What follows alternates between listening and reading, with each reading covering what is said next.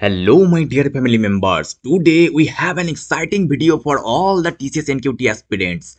After the positive response to our previous TCS NQT coding video, I am thrilled to bring you another set of challenging problems which was asked on 15th January TCS NQT exam in advanced section. So let's see the question.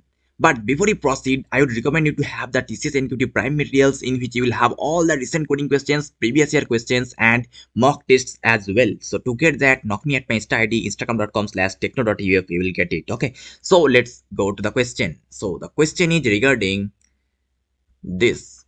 So John is a mathematics teacher in one of the classes of Dell's school. The class has n students Today is their yearly exam and John is very strict on the answers. As per John, no one is allowed to cheat.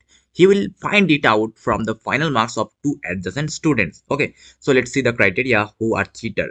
So the marks of n students are mentioned in M array with index 1 to n. So please be mindful because we'll start the indexing from 1 to n not from 0 to okay all of the students are seated one behind the other based on their roll numbers which is from 1 to n. So inside an array 0 1 2 3 4 5 these are the index position right? So 0 is the first and 1 is the behind okay? So this way they are uh, okay if any two adjacent one behind the other students have same marks then it will be considered as cheating and the later student will be removed from the merit list.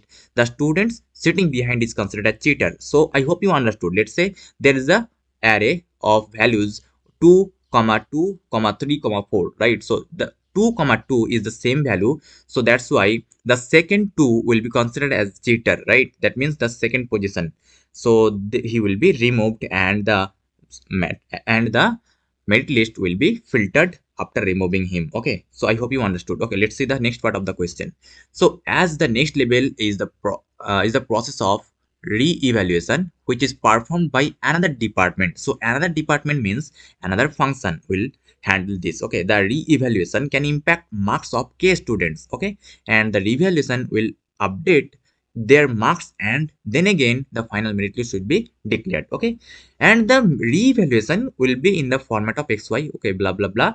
But each re-evaluation is independent and the merit list is updated after each re-evaluation okay? So we don't have to uh, we don't have to print anything but just we have to update after re-evaluation okay? After re evaluation, the merit list is updated where the cheater is filtered out of out if there is any. Okay, so cheater will be removed and the merit list will be filtered. Okay, so what is your task? That is find the maximum number of students that were that were part of the merit list after each re-evaluation. Only the final merit list will be visible. Okay, so not all the merit list after re-evaluation, just only the final merit list should be visible. Okay, so for better understanding, I will print all the uh, merit list after each revaluation okay? So let's see the sample input output so that it could be more easier okay? So number of students will be the first input n let's say n is equal to 5 and then we'll take the number of re-evaluation. So we'll take at first uh, k is equal to 2 and then we'll take the respective marks of each student. Like here we take 1 1 2 5 2 okay? And then we'll get the position and the value which will be updated okay? Then our output should be like this. For first revaluation answer is 5 for second revaluation answer is 3 so i'll not print this part. I'll print just the value okay? So let me explain the sample input output in the compiler so that it will be more easier okay? So at first we'll take the number of students that is 5 and then we'll sorry at first we'll take the number of students let's say this is this is 5 and then we'll take the number of uh, re-evaluation that is let's say 2 and then we'll take the number of i mean the marks of students like five students so we'll take the marks like one then then one then two then five then two. Let's say these are the number corresponding number of each students like five students okay? And then we'll take the position which will be updated after re-evaluation. Let's say the position is one and uh, the value is for let's say 3 okay? So and in the so as i have taken the revaluation count is 2 so total 2 revaluation will be there okay? So at, at the first i will update the value of 1 uh, like uh, by 3 and i will update the value of uh, fourth position by 2 right? So 2 revaluation will be done and this one will be updated like uh, will be updated like 3 and all the remaining will be as it is but the fourth position will be changed by 2 and the remaining will be same. Because and here you can see that one position is being changed at zeroth position as the indexing will start from 1 to n not from 0 right? So that's why we'll uh, consider the zeroth position element as 1 okay? So i hope you understood. And then our output should be so what will be our output? That is after updating the values so we can see that uh, the two are same in this case right? So whoever having the value same they they, they are considered as uh, they are considered as cheater right? So he is very uh, good guy okay? But they are copying from him right? So that's why they are considered as cheaters so they will be removed and the list will be filtered like 312 will be returned. I mean the count of these students. That means total three students are good right? So at the first uh, reevaluation the count of students can be 5 and after second iteration i mean i mean after second reevaluation the total good students will be 3 right? Why? Because in the first reevaluation when i changed like uh, this was 5 right? So when the first reevaluation done the one is changed like 3 right? But you can see here no one is copying from no uh, anyone right? So that means all the adjacent are different right? So that's why the total good students are 5 that's why the output is 5 and in the second iteration in the second reevaluation i have updated the value of fourth index as 2 that's why we see the total two students are copying from this student right? So that's why we removed those students and uh, and we consider them as cheater and 312 the total count are the fair students. Okay that's why the count of total good students are 3 right? So i hope you understood what the task is what you have to do right? So let's go to the solution part. Before I proceed to the solution part, I would recommend you to please join our telegram channel t.me slash now and please follow our Instagram ID instagram.com slash tekno.uf and uh, this will be very much motivating for me okay? So let's go to the solution. I will give you the solution in java and python both so please wait. Wait. So let's see the solution in java at first. So i have written the solution actually. So at first let's start with the main function. So at first we are taking the scanner class object and we have imported the scanner class. Then we are printing that enter the number of students. So here we are just taking the user input the number of students. So at first we are taking the number of students as 5 and then we are writing uh, printing enter the number of revaluation. Okay. So we are number of uh, we are taking number of reevaluation is 2 right at the first input. And then we are initializing the array with the size number of students. That means uh, the array size is 5 right? And then we are uh, printing enter students marks. That is the array right? So the array will be like uh, 1 1 sorry 1 5 sorry 2 5 2 right? So this will be the array which will be the marks of the students okay? And then we are printing uh, the starting reevaluation and we are telling that enter new position and value. So in which position you want to add new value? I mean new uh, after reevaluation in which position you want to add marks? That is at the first position we are willing to add 3 and in the second iteration in the second uh, reevaluation we want to add we want to add new value at fourth position that is 2 right? So these are the main task we had to do. Then we are calling this function and printing it. Okay so merit list position value and array. This is taking okay?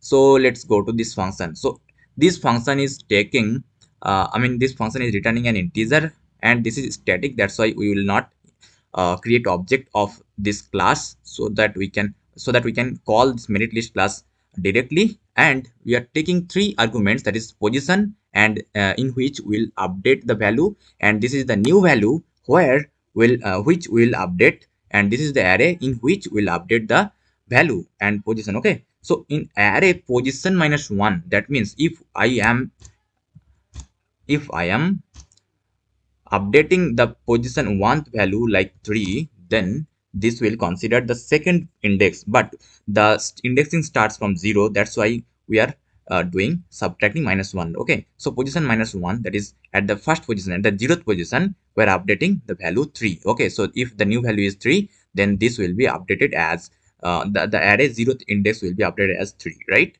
So here i am just uh, taking this uh, taking this variable initialized as 1 to uh, to count how many numbers are there which are being uh, which are being uh, cheated. Like uh, i mean which are being same as the adjacent. Okay.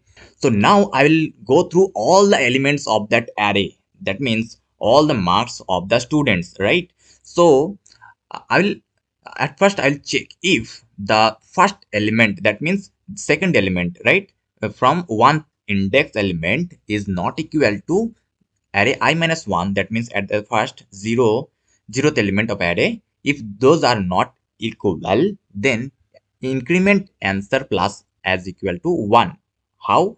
Why? Because uh, we are we, we have got the students as fair student right? If this becomes equal then we will not consider them inside uh, this right? Because uh, we'll not count them we'll remove them okay? So that's why we are just incrementing answer plus is equal to 1 so i hope you understood right?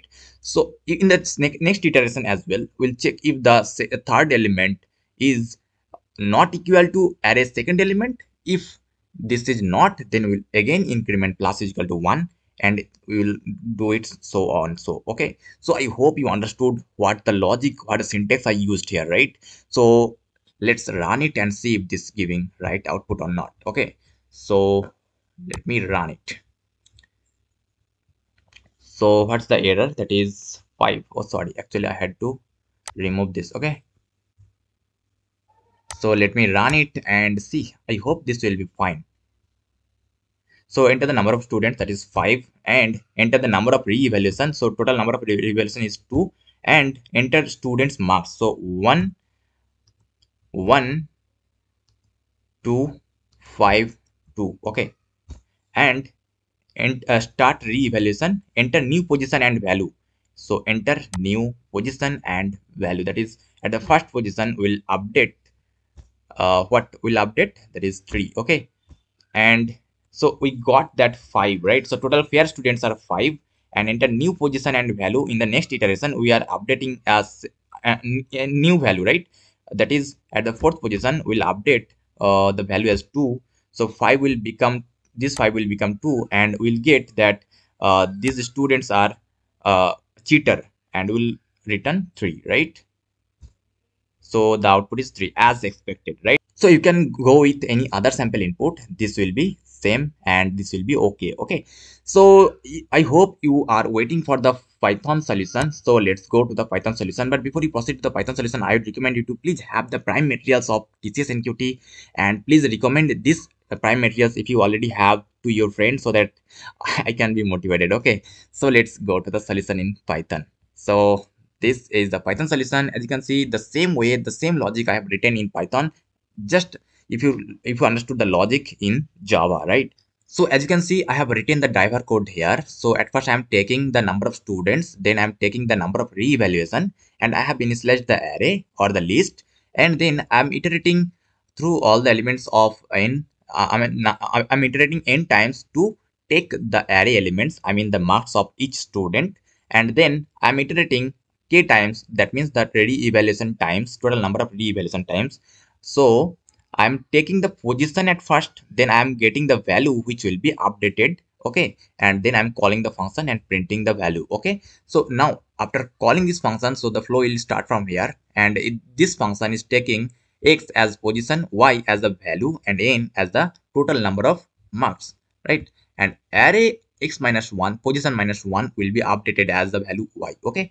And as the java solution we are initializing this value to increment if there is any fair students count okay? So if there is any fair student then we'll increment the count okay? So who are the fair students? That is we'll start from uh we will iterate through all the elements all the array elements right? So that's that's why i'm iterating from 1 to n and uh, checking if array i not equal to array i minus 1 that means we are checking if any array adjacent, adjacent element are equal. If any adjacent element are equal then we will not count them if any adjacent element are not equal then we'll increment this count so that we can get the total number of fair students right? So if there is any uh, any adjacent equal number that means they are cheater right? If they are not equal that means they are fair right? So that's why we are incrementing answer plus equal 1 so that's why after the iteration after the for loop we are returning total number of students in the merit list who are fair. That that is the answer okay? So just i am calling this here and this is printing and this is giving our uh, uh, expected output okay? So i hope you understood the python logic as well python syntaxes as well. So if you love this session and if you want more such content then please subscribe this channel and watch the playlist regarding tcs nqt and any company that you want. And please recommend this channel to your friend so that i can be motivated right? I'll be very much thankful to you okay? So thank you for today's session